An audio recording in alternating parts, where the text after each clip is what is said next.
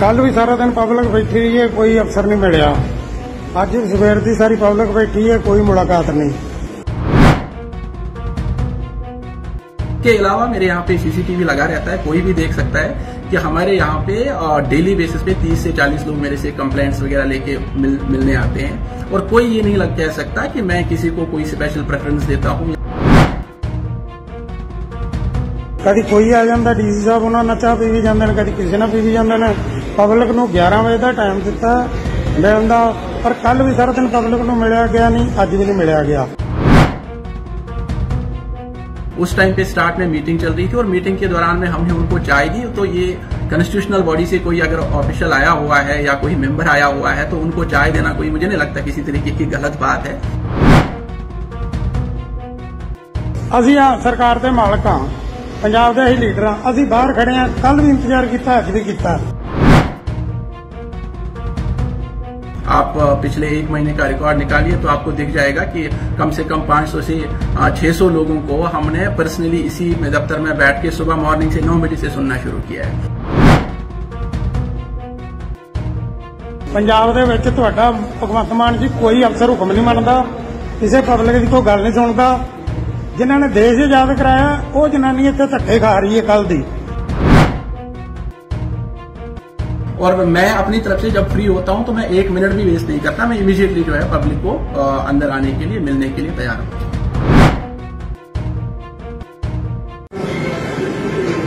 Patiala DC ਦਫ਼ਤਰ ਕੱਲ ਵੀ ਸਾਰਾ ਦਿਨ ਪਬਲਿਕ ਬੈਠੀ ਰਹੀ ਹੈ ਕੋਈ ਅਫਸਰ ਨਹੀਂ ਮਿਲਿਆ ਅੱਜ ਸਵੇਰ ਦੀ ਸਾਰੀ ਪਬਲਿਕ ਬੈਠੀ ਹੈ ਕੋਈ ਮੁਲਾਕਾਤ ਨਹੀਂ ਕਦੀ ਕੋਈ ਆ ਜਾਂਦਾ ਡੀਸੀ ਸਾਹਿਬ ਉਹਨਾਂ ਨਾਲ ਚਾਹ ਪੀ ਵੀ ਜਾਂਦੇ ਨੇ, ਕਦੀ ਕਿਸੇ ਨਾਲ ਪੀ ਵੀ ਜਾਂਦੇ ਨੇ।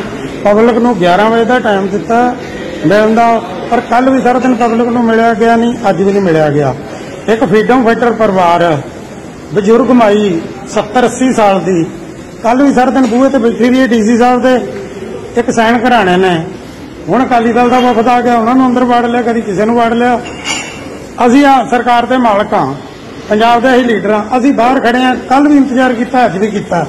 ਇਸ ਕਰਕੇ ਸਪਸ਼ਟ ਜੀ ਗੱਲ ਹੈ, ਪੰਜਾਬ ਦੇ ਵਿੱਚ ਤੁਹਾਡਾ ਭਗਵੰਤ ਮਾਨ ਜੀ ਕੋਈ ਅਫਸਰ ਹੁਕਮ ਨਹੀਂ ਮੰਨਦਾ, ਕਿਸੇ ਪਬਲਿਕ ਦੀ ਕੋਈ ਗੱਲ ਨਹੀਂ ਸੁਣਦਾ।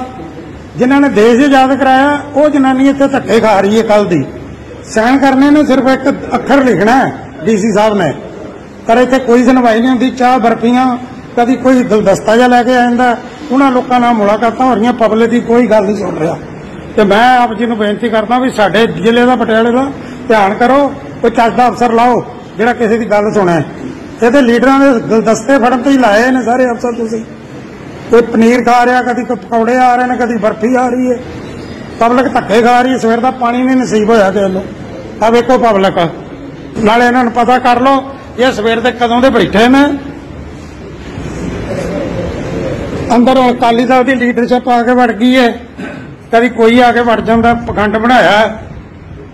11 ਤੋਂ ਪਬਲਿਕ ਦਾ ਟਾਈਮ ਹੈ ਇਹਨਾਂ ਨੂੰ ਬਦਲੋ ਛੇਤੀ ਤੋਂ ਛੇਤੀ ਇਹ ਕੋਈ ਨਹੀਂ ਇੱਥੇ ਦੇ ਲਾਇਕ ਹੈਗਾ ਅਫਸਰ देखिए अ, शायद आप जानते भी होंगे आप तो मो- बहुत अ, बार मैंने देखा है कि मीडिया के नुमाइंदे जो है वो यहाँ पे हमेशा मेरे दफ्तर के आसपास में मौजूद भी रहते हैं अ, मैं अपने ऑफ़िस में सुबह नौ बजे शाप पहुँच जाता हूँ और पब्लिक से मिलना शुरू करता हूँ। और शाम पाँच छह बजे तक जब तक मैं ऑफ़िस हूँ हर किसी को हक है। मेरा दरवाज़ा बिल्कुल हर किसी के लिए खुला रहता है। बट साथ में ये भी समझने की ज़रूरत है कि हर बार पॉसिबल नहीं है कि कोई व्यक्ति आ जाए और इमीडिएटली सीधे दरवाज़ा खोल के अंदर चला जाए क्योंकि अ, किसी जगह पे मीटिंग चल रही होती है वीसी चल रही होती है। और ऐसे में अगर किसी व्यक्ति को इंतज़ार करना पड़ता है तो उसके लिए हम माजरत करते हैं। बट ये सिस्टम है कि डीसी का मल्टीपल काम होते हैं। उसने ऑफ़िस के काम भी देखने हैं उसने मीटिंग्स भी करनी है उसने वीडियो वीसीज भी ज्वाइन करनी है।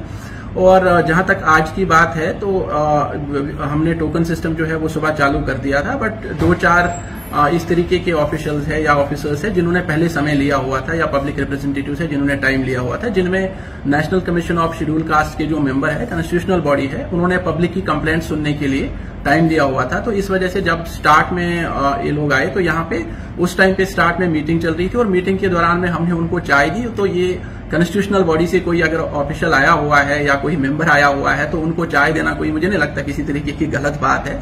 और उनके साथ में मीटिंग के बाद, साथ में ही जो हमारे कर्नल साहब हैं यहाँ लोकल यूनिट के सुकेश जी, उन्होंने भी टाइम लिया हुआ था, वो मेरे से मिलने के लिए आए। उनके साथ में कुछ एक दो इश्यूज़ थे वो डिस्कस हुए।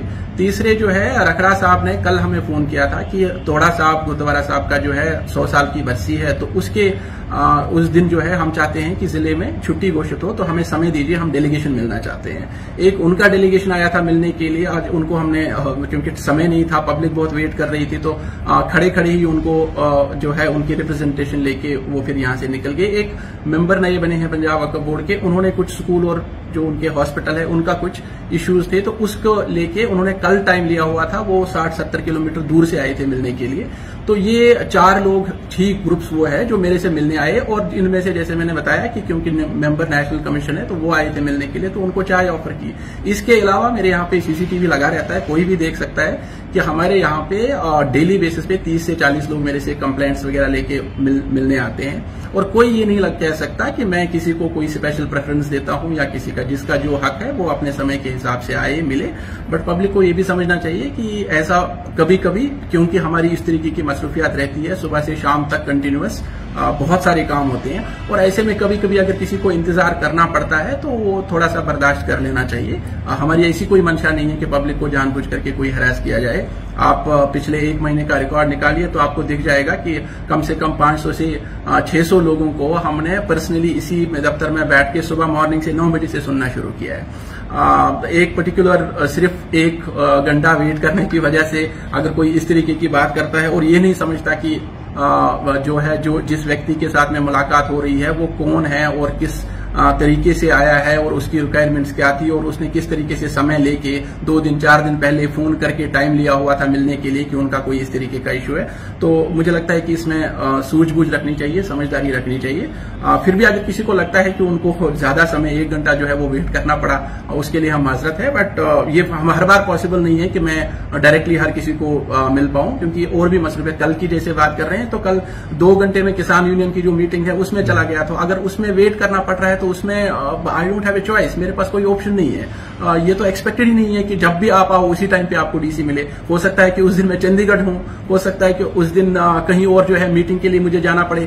फ़ील्ड विजिट्स भी होती है तो हो सकता है मैं उस दिन फ़ील्ड विज़िट पे गया हूँ। तो ये uh, मुझे नहीं लगता कि कोई वाजिब बात है या तो कोई जायज़ बात हो कि आ, मैंने कोई मैं कहीं पे खुद गया हुआ था या आराम कर रहा था और उस दौरान में मैं जो है मैं पब्लिक को मैंने वेट कराया। मैं अपना ये आप देख सकते हैं मेरा पोर्टल सामने है। आ, मैं खुद ही इसको डील करता हूँ और यहीं से देखता हूँ कि किस पब्लिक को कितना टाइम हुआ है और कितने लोगों से। जैसे आप आज देख ले तैंतीस लोग हैं बत्तीस को मैं मिल चुका हूँ। और मैं अपनी तरफ़ से जब फ्री होता हूँ तो मैं एक मिनट भी वेस्ट नहीं करता। मैं इमीजिएटली जो है पब्लिक को आ, अंदर आने के लिए मिलने के लिए तैयार हूँ। सर फ्रीडम फाइटर जो लेडीज़ है उसके लिए इल्ज़ाम लगाया कि वो उनको नहीं मिला जा रहा है तो उनसे मुलाकात हो देखिए मैंने पहले भी बोला आपको कि कोई भी हो मेरे लिए जो है सारे पब्लिक जो है वो सारी सत्कार योग होती है। मेरे लिए जो भी आए जो टोकन सिस्टम है उसको मैं स्ट्रिक्टली इम्प्लीमेंट करता हूँ। जो पहला नंबर है पहले नंबर के हिसाब से ही मिलेगा। जिन लोगों की मैंने आपको बात की वो सारे वो लोग हैं जिन्होंने एक दिन दो दिन चार दिन पहले टाइम लिया हुआ था क्योंकि उनके इश्यूज़ और मीटिंग्स है। जैसे मैंने बोला national commission for scheduled caste का मेंबर है या फिर लोकल कर्नल साहब है या फिर कोई मेंबर है किसी बोर्ड का वो मिलने के लिए आया है। या फिर जैसे मैंने बताया कि डेलीगेशन एक था अकाली दल का कि उनके इश्यू थे कि जी हम तो छुट्टी कराना चाहते हैं तो हम सारे एक साथ में मिलना। उन्होंने टाइम लिया हुआ था। इन चार के अलावा आप दिखा दीजिए वीडियो सीसीटीवी लगा हुआ है कि कोई और ऐसा व्यक्ति आया हो जिसको मैंने प्रेफरेंस दी हो। ऐसा कोई नहीं है। और जहाँ तक आप ये फ्रीडम फाइटर की बात कर रहे हैं, इन्होंने ये बोला कि इसमें साइन करके दे दीजिए डॉक्यूमेंट पे। अब आप एक डॉक्यूमेंट लेके आ रहे हैं, जब तक मैं उसको वेरीफाई ना करूँ कि ये एक्चुअल में फ्रीडम फाइटर फैमिली है, इसका हमारे ऑफ़िस में रिकॉर्ड है तो वो ब्रांच ही पुटअप करेगी। डीसी डायरेक्टली उस कागज़ को साथ में लेके सीधे साइन नहीं करके दे सकता। तो मैंने उनको यही मार्क करके दे दिया कि जी आप एमए ब्रांच में उनको बंदे को, एक व्यक्ति भी साथ में दे दिया कि एमए को बोल दें कि ये फ़ाइल पुटअप कर दें और रिकॉर्ड चेक कर लें। अगर है तो हम इनको साइन करके दे दें।